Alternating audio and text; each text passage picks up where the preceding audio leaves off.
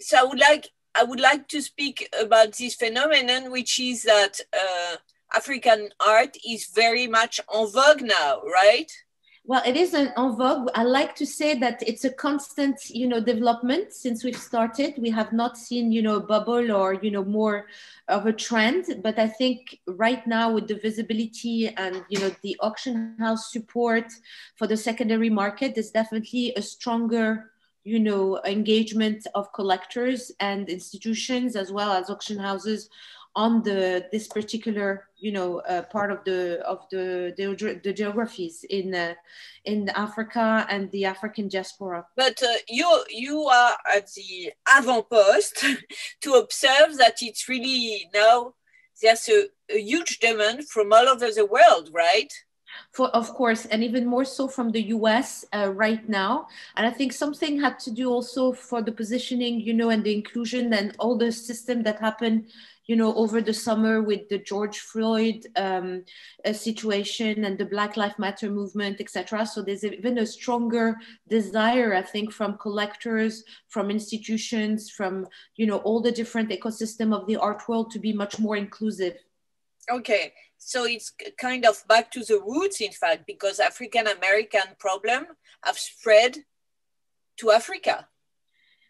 Well, definitely, probably, uh, I wouldn't say spread, but there's, there's definitely a support um, and um, and um, you know a support of what's happening, you know, in the U.S. Uh, from Africa. Uh, I don't think anybody who um, you know is, saw what happened in the US was not touched. I mean, and at this point, the whole world was touched. But Africa has always been, you know, um, in that same category in a way because all those artists, either from an African American descent or from an African descent, has been have been a, a bit, you know, put on the side and not included uh, in the whole ecosystem of the art world, you know, so far. So I think in the same way, African artists have been put it, you know, not included, and the African American have not been also uh, for very long years um, a part of the, the the the I guess the American discourse of art, you know. So